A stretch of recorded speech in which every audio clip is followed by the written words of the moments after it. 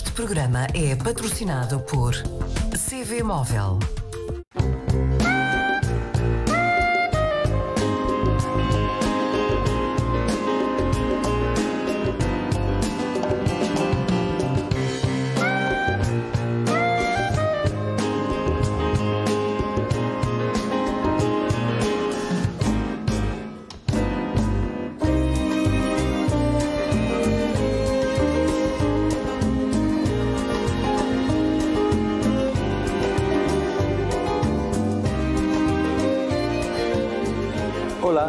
Sejam bem-vindos ao Minha Terra, Minha Creteu. Hoje propomos uma viagem até a Ilha do Fogo, quando passam cerca de seis anos após a última erupção. Damos conta dos projetos de reconstrução das Sandas Caldeiras, da obra dos padres capuchinhos e do famoso casal japonês que ficou retido no sal há quase um ano por causa da pandemia. Em fevereiro de 2015, finalmente o vulcão deu tréguas após dois meses de erupção. Seis anos se passaram e Chã das Caldeiras é agora um território em transformação.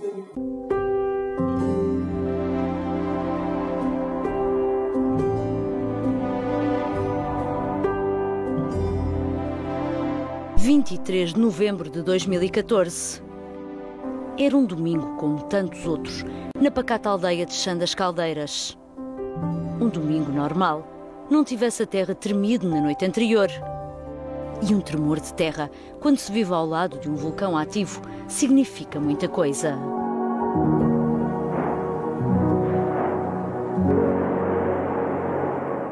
As suspeitas confirmaram-se passava pouco das 10 da manhã.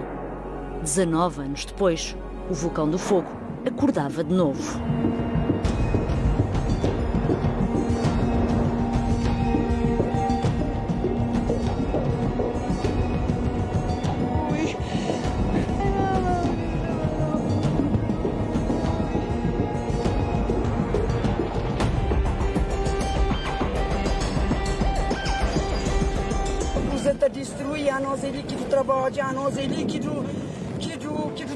Tem casa, a nós nós ele que tosta. Já canto só aí para vai tristeza, para se de cabo que do que se espera, para só aí para ficar na casa de alguém. Aning que acredita, mas está que me canta um tonto que hoje nunca. Em 95, hoje na televisão. É, ah, uma coisa, bem gosto de mim onde é onde é acusa. A Jade fica de coitado,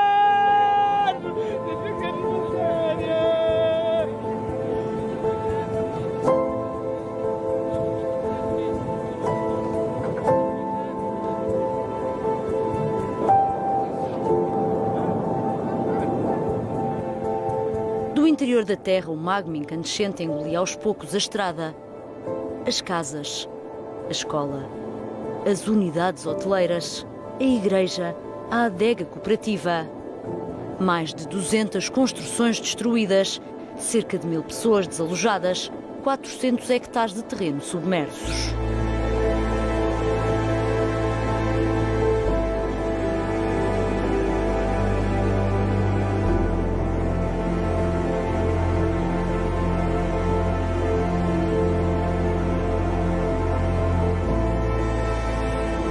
Esta foi a 27ª erupção de que há registro na ilha desde 1500 e diz-se uma das mais devastadoras.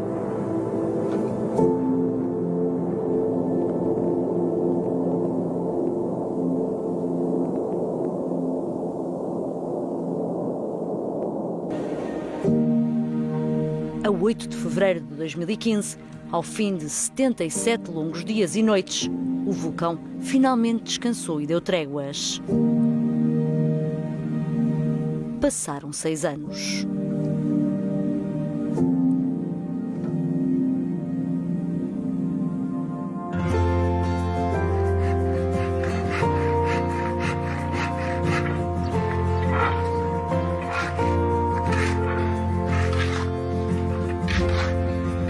Estaleiro, Ivo Andrade lidera o processo de produção de blocos prensados. O técnico veio do Santo Antão para dar apoio ao projeto de reconstrução de Chã das Caldeiras. Está aqui há três anos. Num espaço que também funciona como ateliê de experimentação de novas técnicas e materiais. A ideia é tirar partido das matérias-primas locais e utilizá-las nas construções. Os blocos são um dos exemplos. São produzidos com jorra do vulcão e terra da floresta.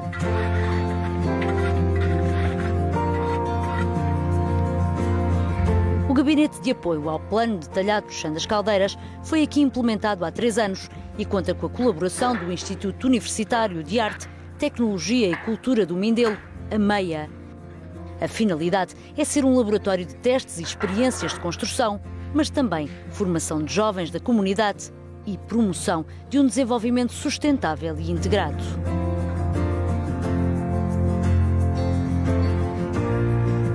Isto é um, um projeto de alguns materiais que estamos a fazer a experiência aqui, uh, materiais locais, como jor, areia, e a implantação também do estaleiro com o pessoal de cá. Vieram pessoal da Santo Antão para fazer uma pequena formação. Agora temos pessoal de cá a trabalhar neste estaleiro, que construímos a obra sempre com materiais locais.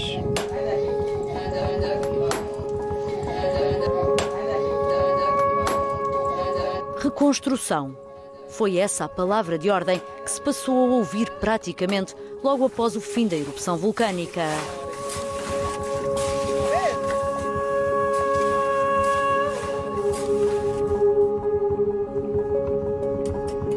Ainda o chão estava quente e a população de Chã Caldeiras, contrariando todas as orientações, regressava ao único sítio que reconhece como seu. Sempre aqui viveram, aqui têm os seus terrenos agrícolas. Muitos deles já assistiram a outras erupções, mas habituaram-se a viver nesta incerteza. Por isso puseram mãos à obra e começaram a erguer tudo outra vez. Sei se isso dura 10 anos, ou 20 anos, ou um ano. Mas me é obrigado a fazer. Uma coisa de Deus, nunca saber que tem, porque pode tornar fura, ele pode furar ele ali também, me tornar bem. Mesmo se vulcão fura, ele torna destruir, mita construir riba lava, e o rico, mas mica pode viver sem que lava ali, ele que tem vivendo, escrava dentro desse lava.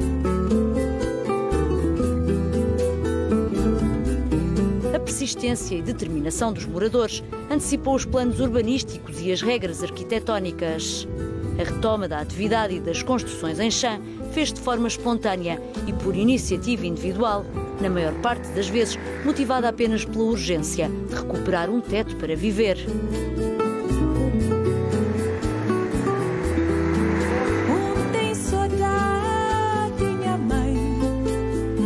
David Monteiro, também conhecido por Neves, não baixou os braços depois de assistir à destruição da adega cooperativa de Chã das Caldeiras, da qual era responsável e coproprietário. A lava poupou as vinhas e foi possível salvar toda a produção de vinho tinto do ano. Neves entendeu isso como um sinal e decidiu voltar a instalar a adega para servir os produtores locais. O espaço começou provisório, mas com a mobilização de recursos vindos de parceiros internacionais, foi sendo equipado. Este ano, espera-se que receba dos seus 11 associados cerca de 200 toneladas de uva. A juntar à adega e olhando para as oportunidades do turismo, Neves investiu também numa pequena unidade de alojamento, revestida com pedras da última erupção. Esse revestimento que estão a ver aí são pedras da última erupção de 2014 e conseguimos apanhar porque pronto também aconselham e parque natural e aconselham, por exemplo, que, que, que essas casas, essas casas antes também que fossem feitas assim com, com, com pedras, não com blocos materiais de cimento, porque aquilo não dá assim uma boa imagem, é?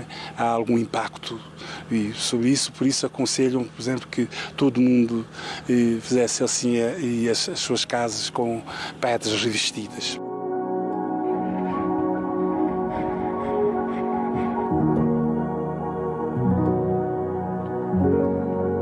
Seria só nos finais de 2018 que era posto em marcha o plano detalhado do Chão das Caldeiras, que estabelece as normas e delimita as áreas de construção.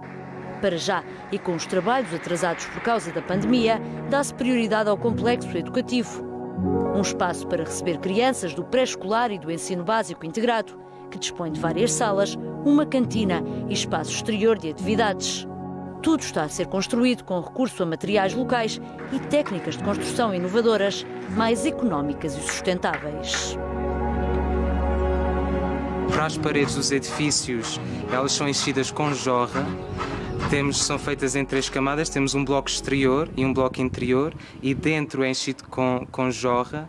Isso faz com que, em termos ambiental, haja toda uma, uma redução do calor que entra durante o dia e nós já estudámos e, e cientificamente quase podemos comprovar que funciona.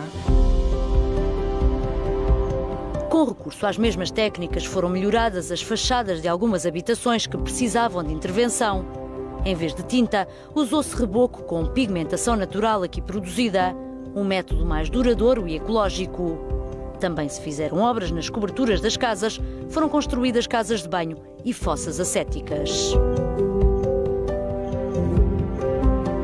Nenhuma destas técnicas construtivas ou sistemas existia aqui no local e Chance por si é um sítio bastante complexo, mas tudo o que está aqui, a ser, o que está aqui a ser feito é nesse sentido de testar novas técnicas que possam servir de legado para a comunidade, que possam ser usadas e replicadas por elas e, e também é da nossa responsabilidade deixar toda uma série de documentação que possa servir de orientação.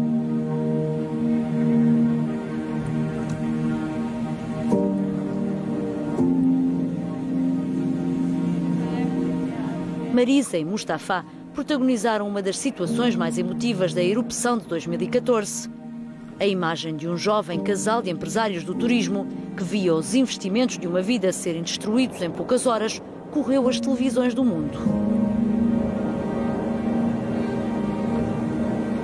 Tínhamos dois hotéis, casa, vida está bem boa, a economia está bem fixe, e 16 empregados, funcionários, e de um dia para outro quase fica sem, sem casa, na rua com filho.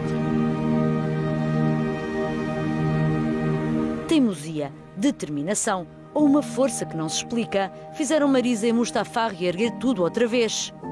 11 meses depois do fim da erupção, nascia uma nova unidade hoteleira que começava a receber os primeiros turistas. Foi construída praticamente no mesmo sítio onde menos de um ano antes o vulcão lhes engoliu o hotel. Esse frano, nós é doido, doido, louco e quer um quer ser mais motivação porque nós importante não crise já entende já aprende e, e concentra para dentro e para fora concentra para dentro para entender coisa que é principal coisa que é importante na vida e cria uma visão para o futuro não fosse a pandemia e estes funcos, o último investimento do casal, estariam todos ocupados por turistas.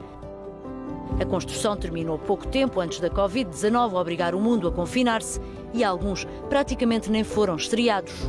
Mas por aqui, resiliência é mais do que uma palavra, é um estilo de vida. E todos sabem que melhores dias virão. Temos resiliência bem limpa, estamos bem provados em crise está pronto para continuar e muito importante para nós tudo é minha experiência nós precisamos pensa sempre em comunidade, caso para mim, caso econômico, porque nós vivemos num mundo que se concentrado muito na econômico. Durante a erupção está discutido só, ok, como que a gente está vivendo, como está trabalhando. Não, é a única coisa é economia, social. O plano detalhado de Chã das Caldeiras prevê um traçado urbanístico que facilita a evacuação das populações e melhores acessos para assistência em casos de erupção vulcânica. Já foi construída uma nova estrada que circunda a caldeira do vulcão e passa pelas localidades que compõem Chã das Caldeiras.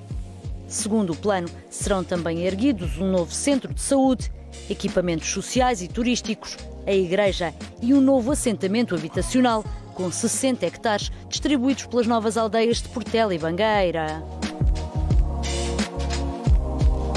O projeto tem também o propósito de promover um desenvolvimento integrado que valorize os recursos da comunidade, garanta a proteção da natureza no Parque Natural e esteja enquadrado na paisagem protegida, nos hábitos costumes e vivências locais. Mas, à margem dos planos ou integrados neles, a população regressa às rotinas de sempre. À agricultura, à produção de vinho, porque a erupção preservou as vinhas, ao turismo, uma das principais potencialidades deste lugar. E ninguém lamenta a erupção de há seis anos, nem aquilo que perdeu. O vulcão faz parte da vida das gentes da Chã, que já se habituaram a viver com os seus caprichos, a perdoar-lhe as fúrias. Temos um vulcão para fazer muita destruição, mas principalmente é um vulcão muito manso. Né? Não temos morto, não temos alguém com problema de saúde depois da erupção. Nós não podemos controlar a natureza. Não podemos parar a erupção, não podemos parar vírus, mas nós temos adaptar naquela situação, se cria um básico de trabalho na chão, sempre deixar aberto para, para todo.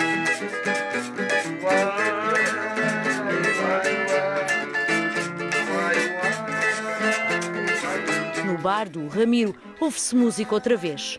O espaço que a lava engoliu por completo foi também requalificado, mas preservaram-se marcas da erupção que ficarão para a memória.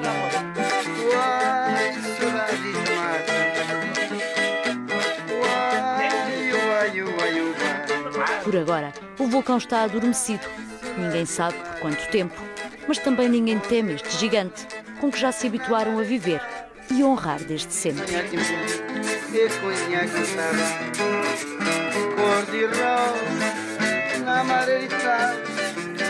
Comigo tenho a doutora Ilse Amarante, presidente do Instituto Nacional de Gestão do Território.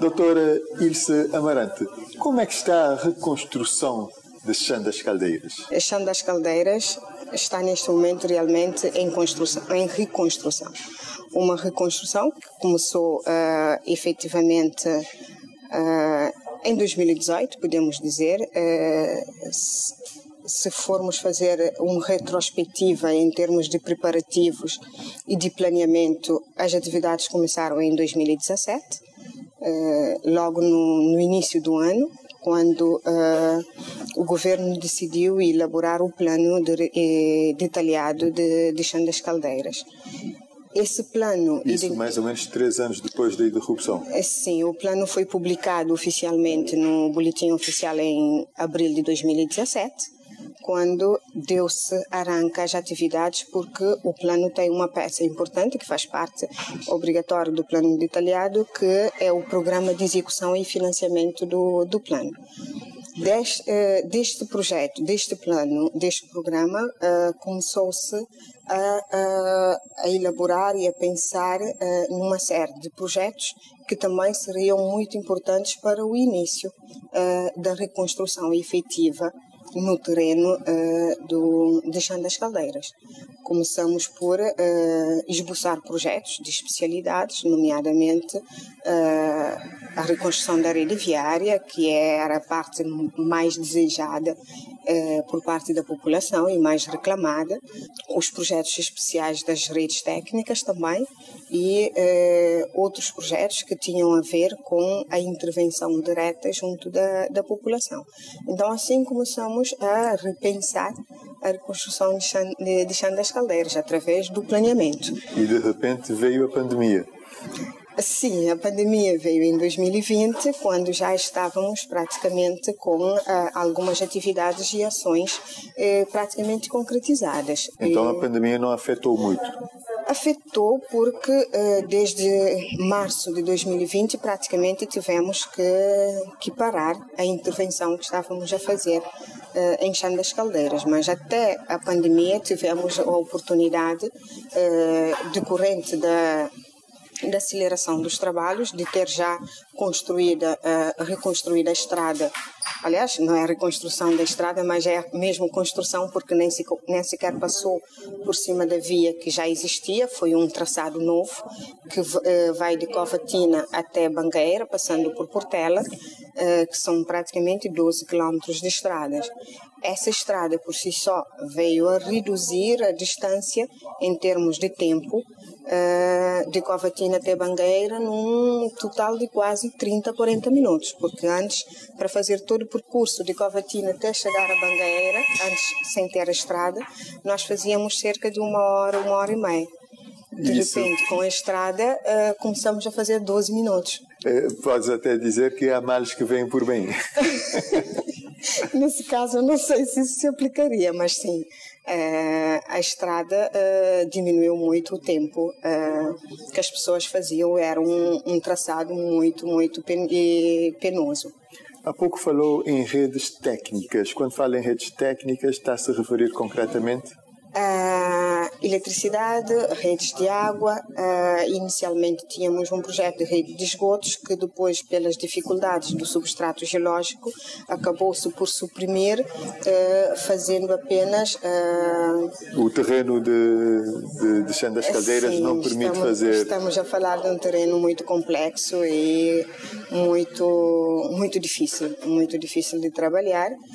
Eh, por isso foram uh, suprimidas essa, apenas essa rede técnica. A parte de deixando, rede de Sim, deixando apenas por ter a parte de, das fossas céticas nas casas individuais. O mais indicado então para Chão das Caldeiras são as fossas céticas? Sim, uh, nós tivemos que fazer um estudo prévio que a priori identificou as redes técnicas, mas realmente era, o custo era muito elevado e depois não podemos nunca esquecer que estamos a fazer investimento num lugar onde uh, de hoje para amanhã podemos voltar a estar eh, na estaca zero.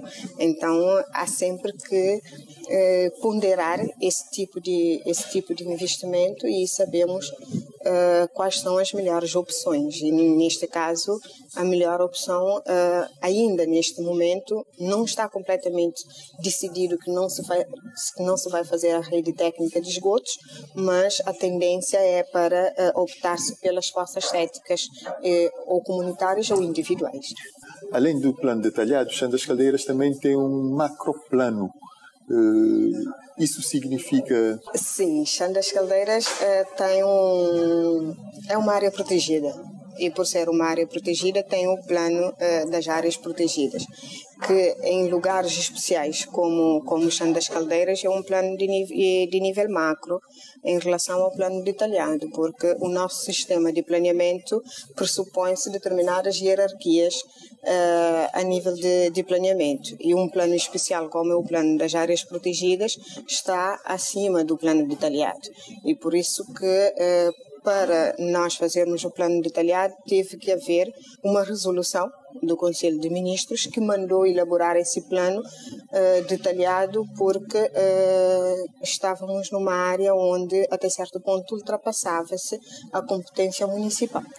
Ainda por cima porque estávamos numa área de emergência. Estava-se a salvaguardar principalmente os aspectos ambientais. Exatamente. E como é que a população está a reagir a todos eh, esses aspectos? Bem, eu posso dizer que eh, no início a forma como foi desenhada a intervenção em Chão das Caldeiras e como está sendo executada, a população, eh, o primeiro impacto foi eh, de esperar esperar para ver o que é que acontece. Não houve assim envolvência direta.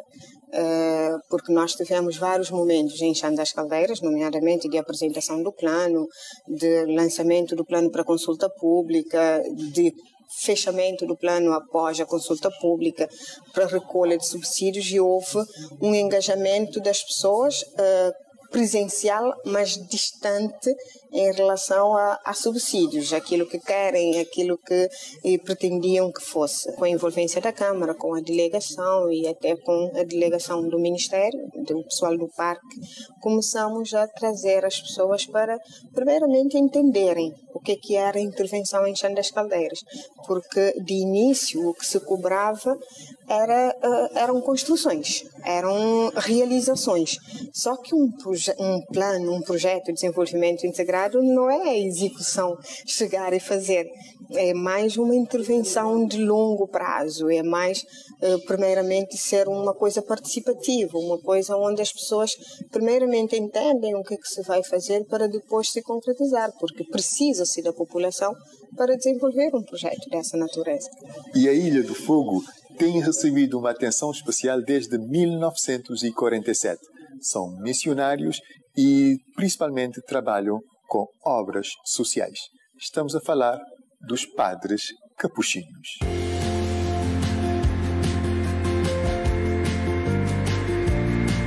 Esta unidade produtiva tem capacidade para engarrafar cerca de mil garrafas de meio litro e 700 de um litro e meio por dia. Saem todas com o selo de garantia de água mineral de qualidade e sob a marca Água do Fogo.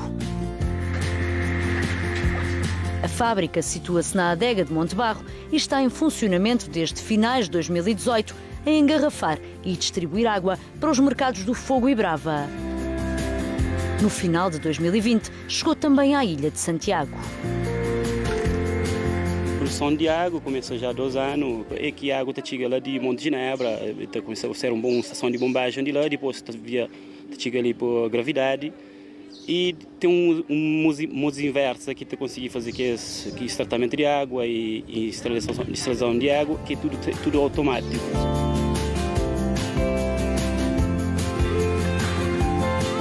A unidade Fabril resulta do mais recente investimento da Fundação Padre Otávio, uma instituição solidária criada pelo Padre Otávio Fassano, capuchinho há mais de 50 anos em Cabo Verde e que tem promovido o desenvolvimento comunitário da Ilha do Fogo através de vários projetos. Um dos mais visíveis é a adega cooperativa de Montebarro, o espaço onde agora a água é engarrafada e que desde 2014 produz os vinhos Maria Chaves. O projeto nasceu para gerar mais empregos para os jovens do fogo e mais oportunidades. Aqui são também ministradas formações em enologia e viticultura. A adega de Monte Barro, ela complementa a vinha de Maria Chaves. A vinha de Maria Chaves é a primeira a ser construída aqui na cidade de São Felipe uh, e nas encostas do vulcão e ela, uh, portanto, a adega vai complementar a vinha no sentido de produzir o vinho. Eu acredito que o vinho Maria Chaves tem, tem tido um papel preponderante não só na divulgação do vinho do fogo, porque ganhou duas medalhas uh, de ouro num concurso internacional uh, em, em, Itália, mas também porque agora alberga uma escola, a, a, primeira escola de enologia e viticultura em Cabo Verde. Nós produzimos vinho desde 1988 e é a primeira vez que nós estamos a formar pessoas in loco.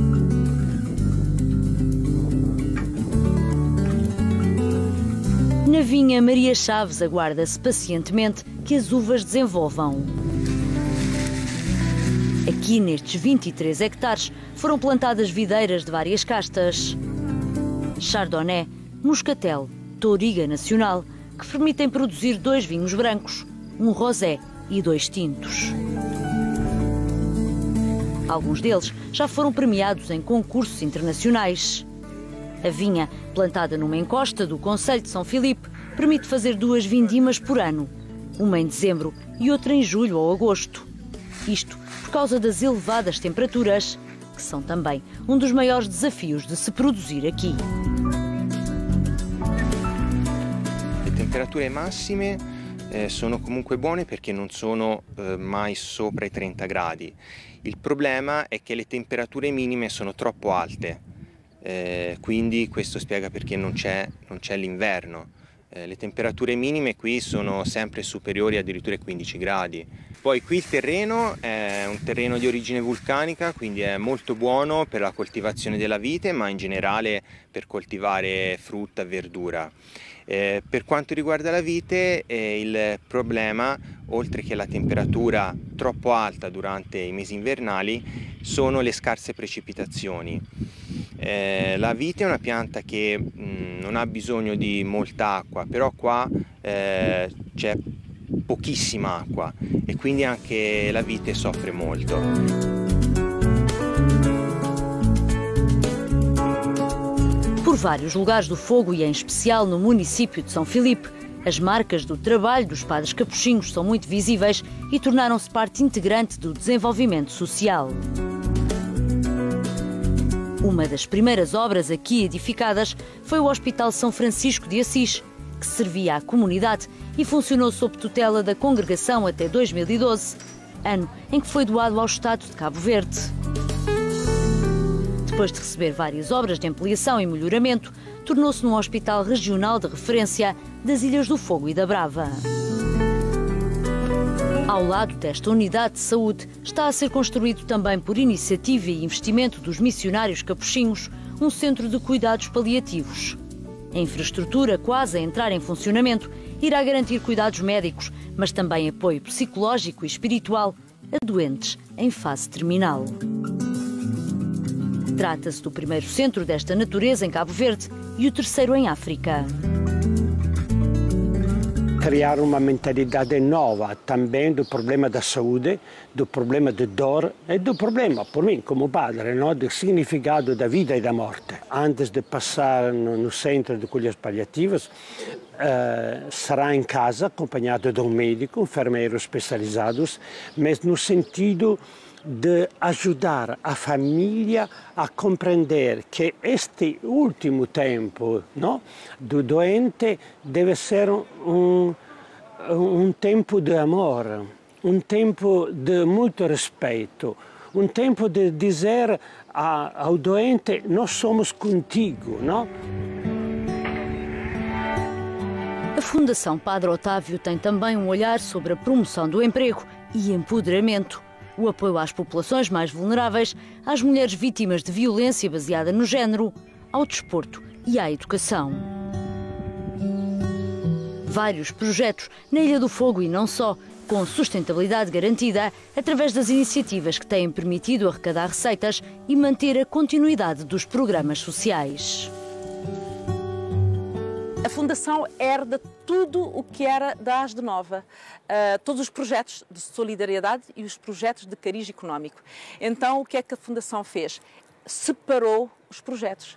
Nós, a Fundação, uh, lida com os projetos de solidariedade, que é, eu estou a falar do, do, Centro de Cuidados Paliativos Nossa Senhora de Encarnação, o Projeto Pescadores, a Casa de Acolhimento de Jovens Mães Solteiras, o Centro Mamapina para Mulheres Vítimas de VBG.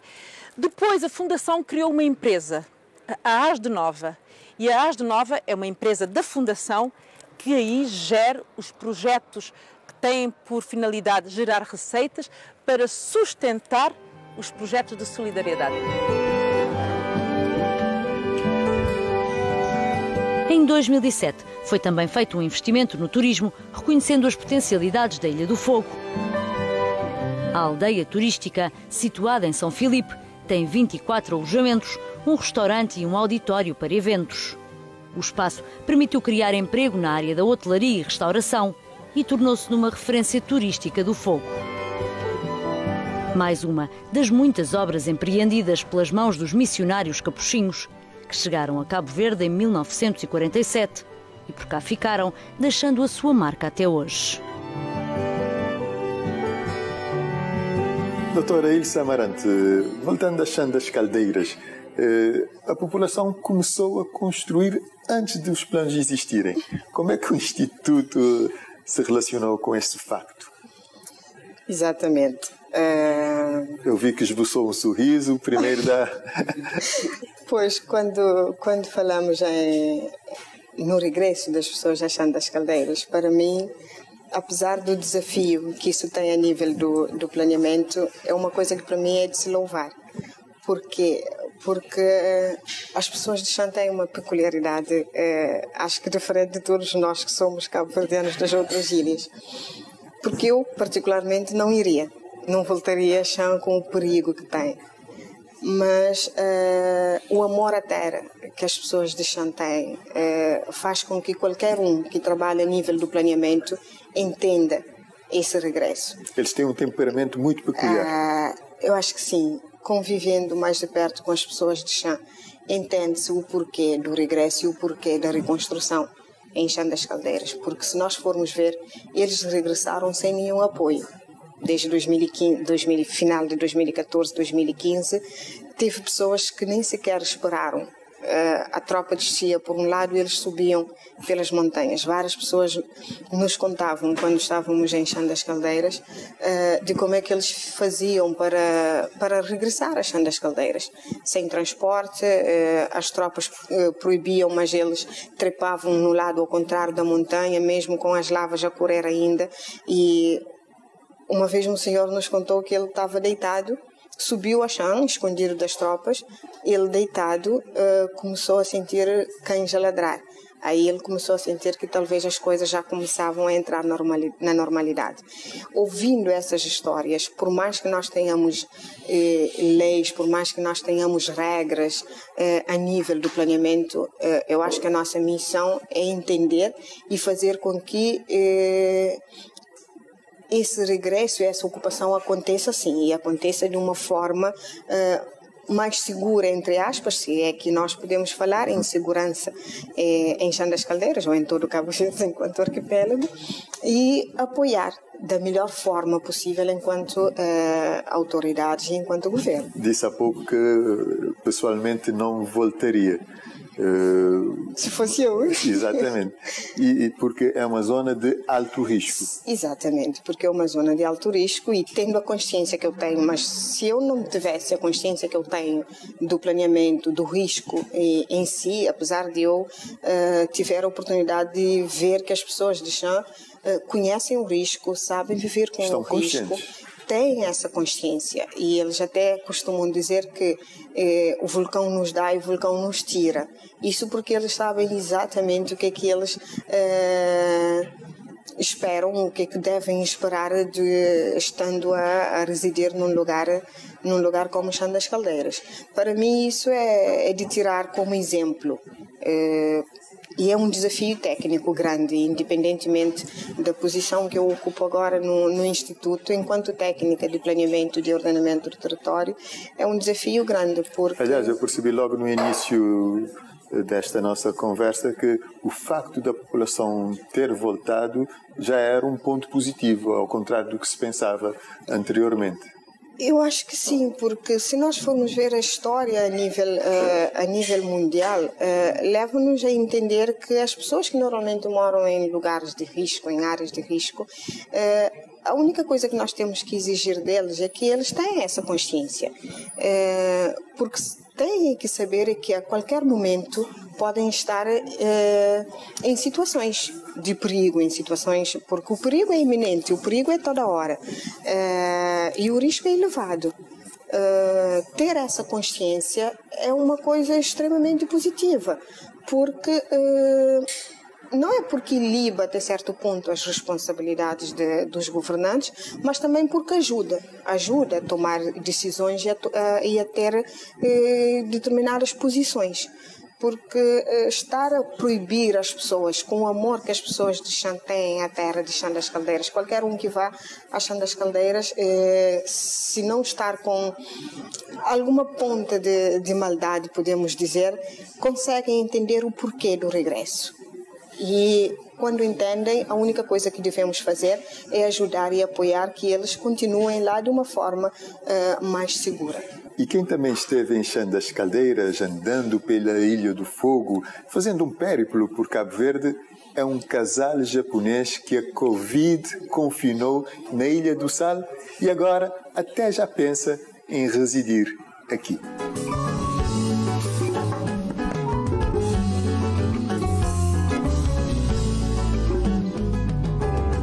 Imagine encontrar-se preso numa ilha no meio de uma pandemia sem poder regressar à terra de origem e com dinheiro a chegar ao fim.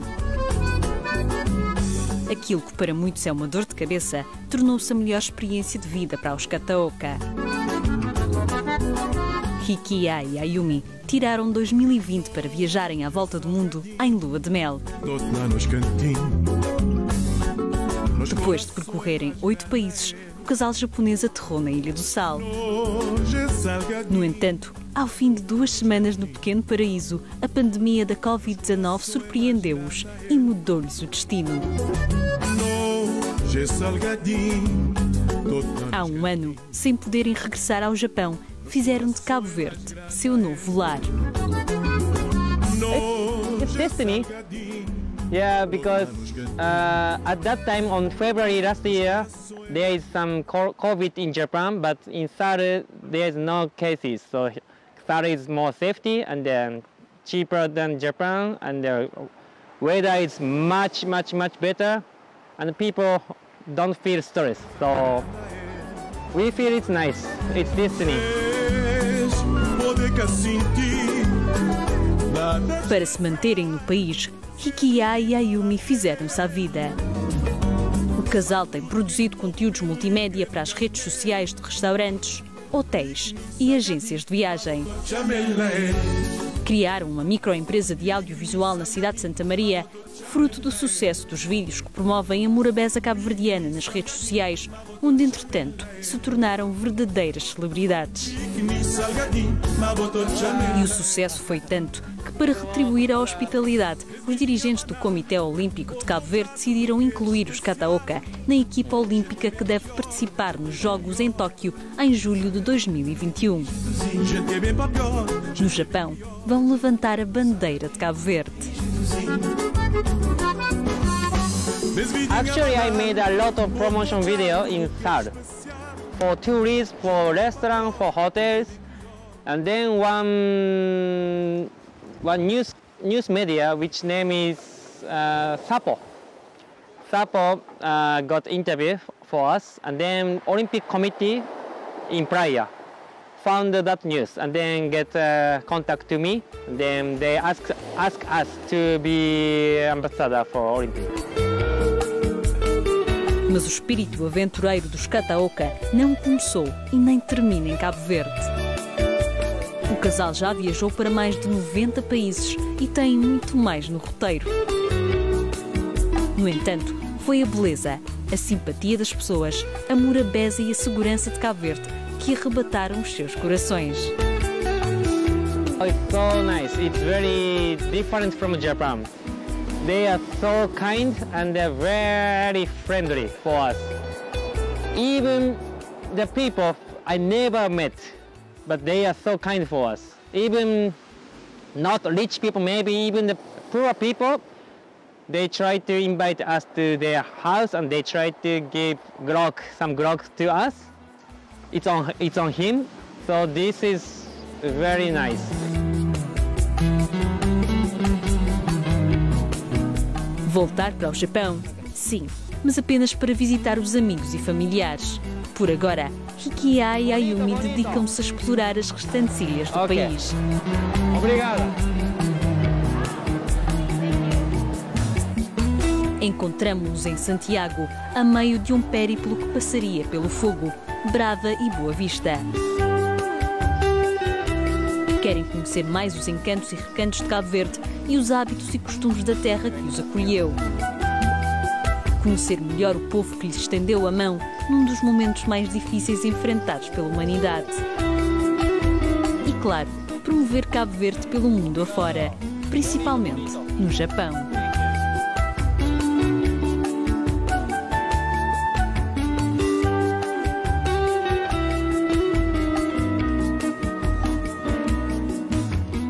Doutora Ilse Amarante, agora falando da gestão do território em termos eh, nacionais, quais as maiores dificuldades do INGT? Bem, eh, eu acho que não consigo responder a essa pergunta assim direta. Tenho que fazer um pequeno, um pequeno historial aqui. O INGT é um instituto novo. Foi Mas já criado. teve precursores. Sim, tem a Direção-Geral do Ordenamento do Território, tem a Unidade de Coordenação e Cadastro Predial, que se fundiu no Instituto Nacional de Gestão do Território em 2014 e 2015.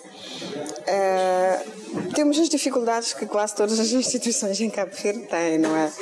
A falta de pessoal, a falta de recursos ainda por cima, porque eh, sendo o ordenamento do território uma, uma área relativamente nova eh, em Cabo Verde, o ordenamento do território tem eh, tentando ocupar espaço Isso a então nível da acaba. governação, a nível eh, da própria sociedade, porque é uma, é uma área que está, que está em voga, é uma área que desperta muito interesse eh, nas pessoas, mas é uma área que ainda tem, tem, um pouco, tem pouco investimento. A responsabilidade então é compartilhada.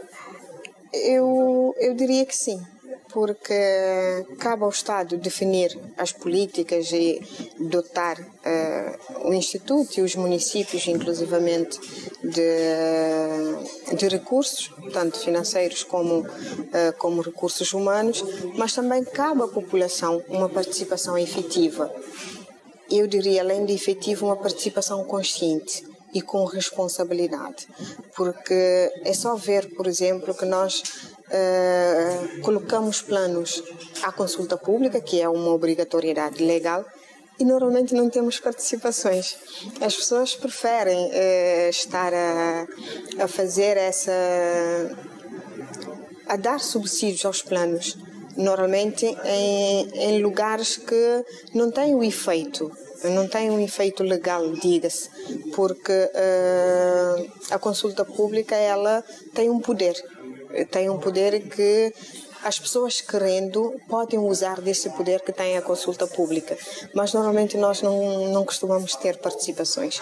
Pelo historial da gestão do território em Cabo Verde, parece que o caos urbano acontece por essa falta? Não, porque sempre houve a Direção-Geral do Ordenamento Território, apesar de com, com menos competências e eh, com as competências de uma Direção-Geral que não são, não são muitas, não são amplas e não têm uma autonomia. O Instituto realmente tem uma autonomia, mas o caos eh, urbano, eu acho, a falta de planeamento em algumas áreas que nós estamos a assistir. É, que diga-se de passagem não são assim tantas, porque temos cidades que até têm uma boa malha urbana, até estão é, apresentáveis e bem organizadas, mas temos que reconhecer que temos falhas, sim. Temos falhas é, a nível da assunção de, de algumas instituições com responsabilidade, normalmente os municípios, por exemplo, que têm a responsabilidade de fazer a gestão urbana. E que sequer preocupam-se em elaborar um plano de pormenor ou um plano detalhado. Mas essa responsabilidade, eu costumo dizer que ela não é unilateral, ela é uma responsabilidade partilhada de todos os atores que fazem parte do, do planeamento e que fazem parte da, da sociedade em si porque uma falta de fiscalização, por exemplo, por parte da instituição, mas tendo a fiscalização, muitas vezes a fiscalização ela pode não ser suficiente. Então nós mesmos, enquanto eh, enquanto residentes, temos que ter essa parte de participação, como eu dizia antes, para também tomarmos conta daquilo que é nosso, da nossa rua, do nosso bairro e do nosso quintal. Porque eu posso ter uma fiscalização ativa e deficiente, que sabemos que temos muitas vezes, mas eh, muitas vezes não consigo dar respostas. E essa resposta poderia ser muito bem dada quando, se tivéssemos uma participação da população ativa, mesmo que não for uh, de uma forma de uma forma direta, mas uh, só cuidando daquilo que é seu ou só cumprindo as regras e as normas naquilo que, que diz respeito a si diretamente. Uh, se cada um de nós fazermos a nossa parte, no conjunto vamos ter uma coisa, uma coisa harmoniosa. No conjunto vamos ter um lugar planeado, vamos ter uma rua, um bairro e uma cidade no seu todo planeado. Doutora Ilse Amarante, muito obrigado pela participação na minha terra, minha Eu Sugiro-lhe agora que façamos uma visita a Praia Baixo. Lá vamos ao encontro de uma escola de futebol, assistir aos treinos desta escola muito especial que tem um propósito social.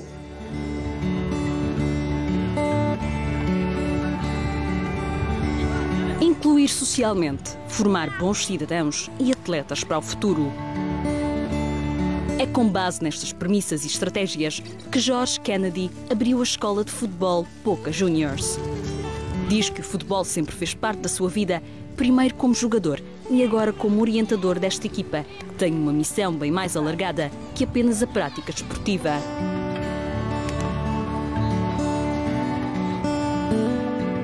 Um dos meus objetivos é trazer inclusão social para o futebol. Trazer inclusão social, dar igualdade a todos e mostrar que a escola de futebol é um benefício, não tanto para a sociedade, mas para a criança.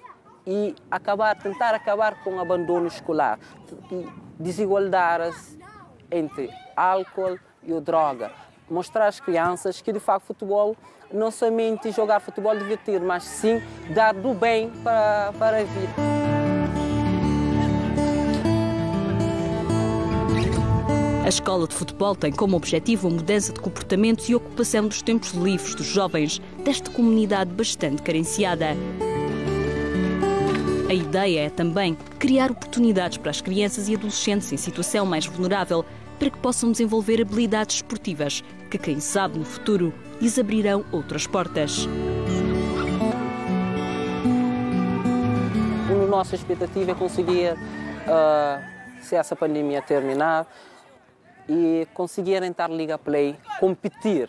Temos duas equipas para entrar, o nosso objetivo sub-15 e sub-19 para ir para a praia, sair daqui de para baixo. É um, é um bocadinho difícil porque custa e tem que ter o capital, ter que ter condições de alimentação e para poder competir. E estamos a trabalhar nisso para podermos conseguir engajamento financeiro para trabalhar. O nosso objetivo específico neste caso é ter o, o que mais queremos, ter uma escola, que as crianças se sintam seguras conosco. Que eu sinto feliz e que eu espero que eu tenha um bom futuro. Sim, porque eu conheço esse treinador, ele é um bom treinador e também eu gosto muito desse treino.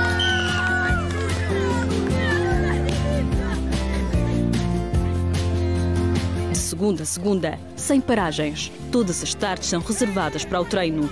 A escola já conta com mais de 40 alunos, dos 10 aos 18 anos. Quase todos partilham o mesmo sonho: serem jogadores de futebol profissional. A Escola de Futebol Boca Juniors promove ainda a socialização, liderança, respeito, a disciplina e o trabalho em equipa. Valores determinantes no futebol e na vida.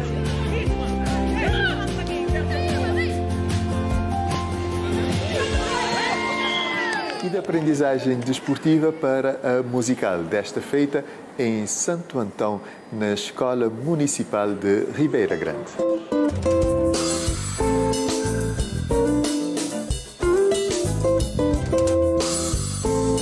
Eis que se inicia mais um dia de aulas. Hermínia Ramos é a mais nova na turma. Sonha em ser uma violinista internacionalmente reconhecida. Veio para cá para se aperfeiçoar e, quem sabe, alcançar este sonho tão desejado e que ficou arrumado numa gaveta durante alguns anos.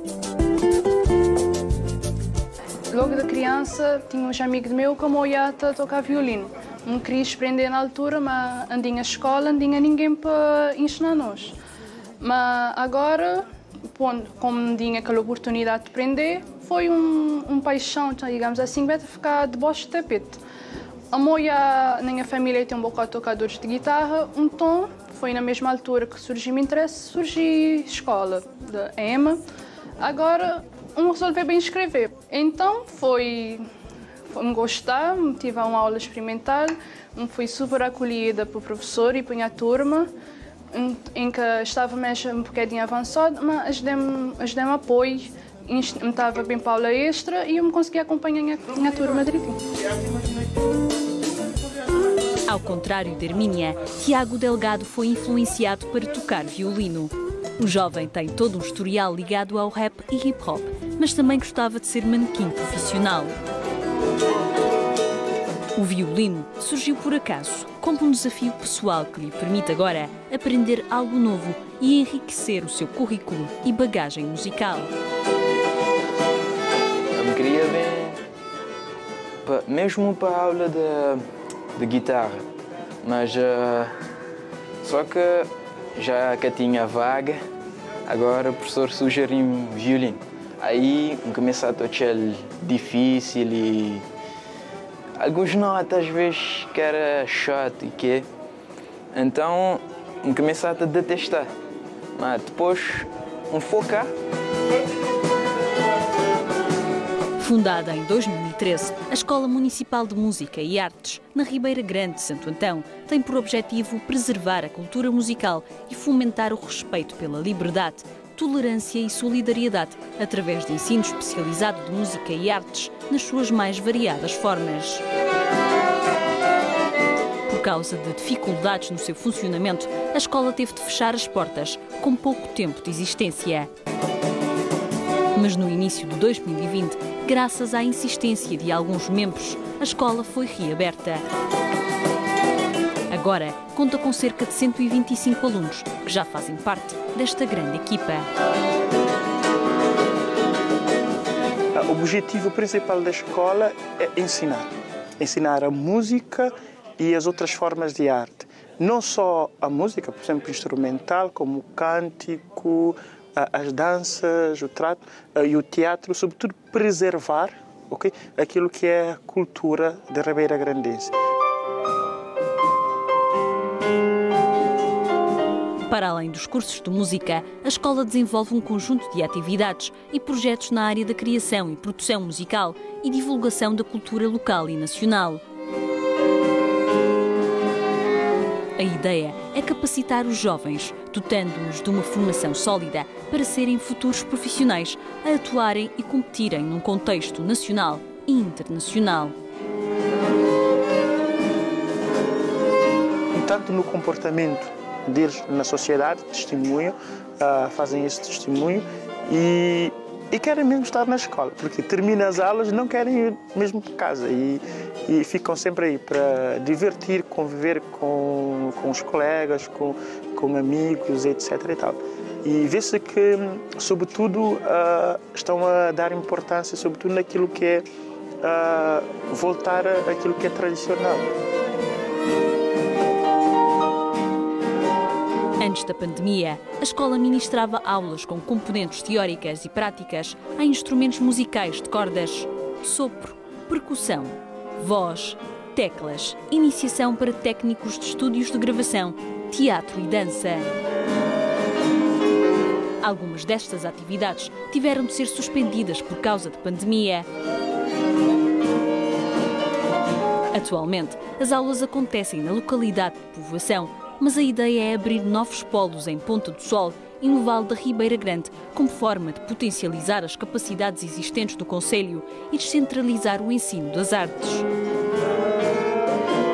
Ao longo da sua existência, a escola já formou mais de 500 jovens. As aulas são gratuitas. Os alunos pagam apenas uma taxa de inscrição de cerca de 5 euros.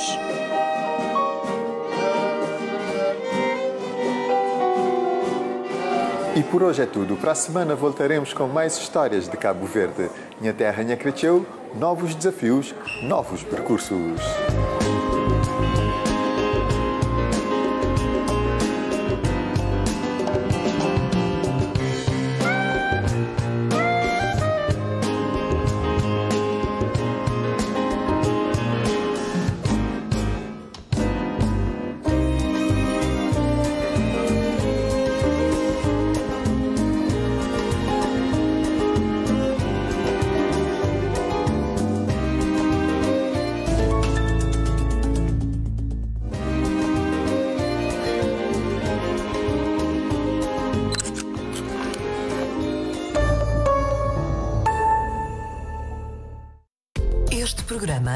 Patrocinado por CV Móvel.